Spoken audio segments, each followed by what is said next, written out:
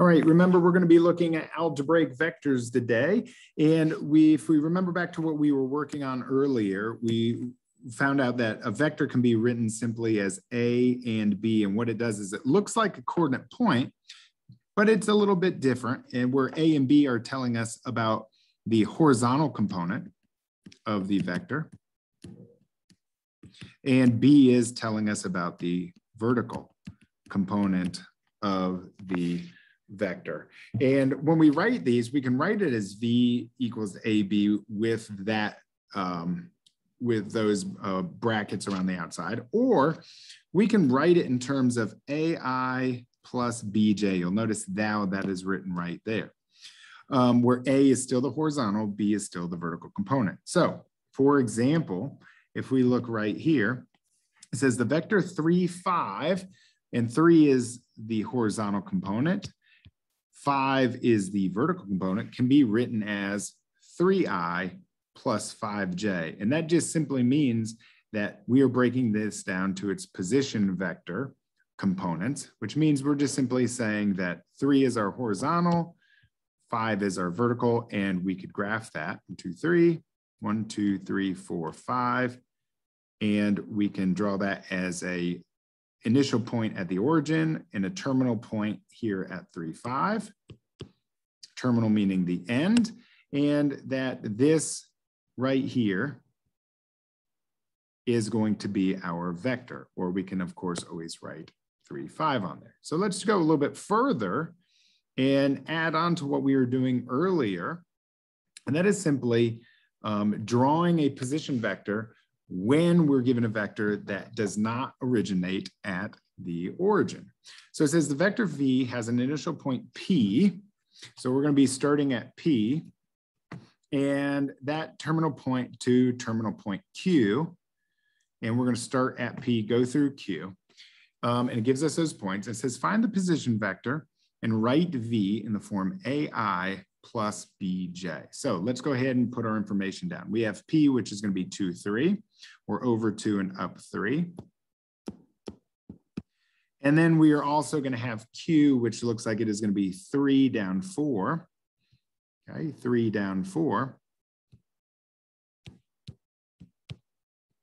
Uh, to negative 4. And what it says is our initial point is P, our terminal is Q, so our vector is going in this direction. Now, um, in a previous video, what we learned was we can simply find the position vector by subtracting the x's in order and the y's in a specific order.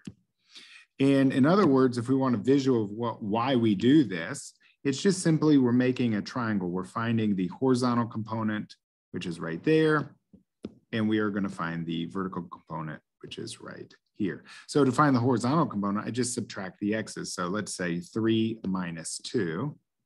So I'll put that there, 3 minus 2. And then to find the horizontal, we're going to start with the original one we started with, which is negative 4, negative 4 minus 3. Okay, um, and then we just continue to find our values of A and B to find that vector. So we just go 3 minus 2, which is 1, negative 4 minus 3, which is negative 7. Okay, and this is going to be our vector V. Now let's go ahead and sketch our vector V so it makes sense with what we've done so far. Now this vector is going to be a position vector because we've now just identified the components of it, the horizontal and vertical components of the original vector PQ. Um, and so we're just going to simply add that onto our grid. We're going to say position vector zero, zero, which is the origin. Then we're going to go over one and down seven. So one, two, three, four, five, six, seven. We are going to draw an arrow directly to that vector. Um, the ending point is one, negative seven. The vector, however, is written as 1, negative 7. And we can continue to write it in the form of AI plus BJ, which is just simply 1A, and it's a negative 7, so negative 7J. Oop, and I meant, I meant an I. Oops, let me go ahead and put that 1I minus 7j, or we can just simply write i minus 7j. That's how we would write it, and that is how we are going to graph the position vector, and we can always come back and use those uh, little tasks or those formulas that we are given in order to find those position vectors.